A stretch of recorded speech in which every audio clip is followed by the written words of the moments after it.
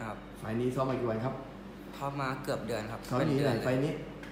สอนอยู่ที่เพชรทุ่งเรืองครับแล้วมีใครเป็นผู้ป้องผู้ซ้อมเราบ้างที่นั่นมีเก่งกาดกับมหาเฮงครับ แล้วก็เพชรบุรพาอืมแล้วในค่ายจะช่วยกันเนาะเราสูงเท่าไหร่ครับ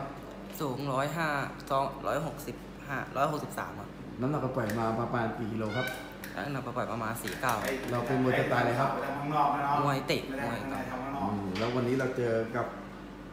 สตอครับเคยเจอกันมาหนึ่งครั้งครับวันนั้นไปพลาดพลาดครับไปพลาดแพ้น็อกเขาครับ อืมไปโดนอะไรเขาวันนั้น โดนเตะก้านคออืมเลยพลาดไปเลยครับผมแล้วเขาเป็นมวยสไตล์อะไรพอจำได้ปะน่าจะมวยวงในรัดเอวอืมรัดเอแล้ววันนี้เรา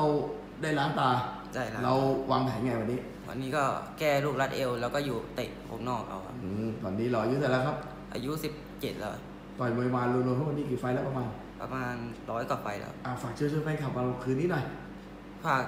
แฟนคลับช่วยเชียร์ผมด้วยนะครับเดือดใช้เพื่อนเหลืองครับไฟล์นี้เต็มที่แน่นอนครับ ครับขอบคุณมากครับ